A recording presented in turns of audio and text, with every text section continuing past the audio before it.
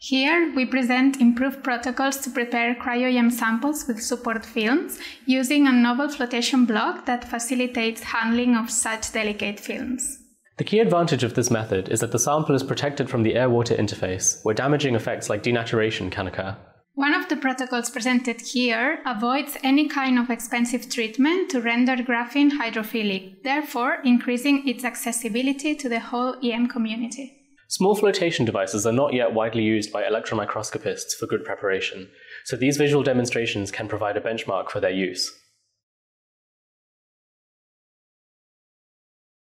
To begin, wash the TEM grids with double distilled water and ethyl acetate followed by plasma cleaning.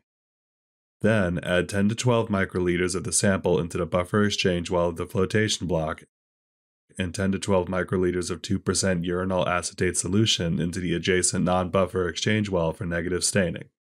It is essential to take appropriate safety precautions when working with stain. Carefully cut two small pieces of mica with pre-deposited carbon film on top. Ensure that the mica fragments are wide enough to fit into the well and longer than the well length, such that the fragment can sit on the well while the carbon is floating and there is enough space to handle the fragment with the tweezers. Immerse the mica into the well with an approximate angle of 45 degrees until the mica sits on the ramp of the well and the carbon layer is observed at the surface of the liquid sample.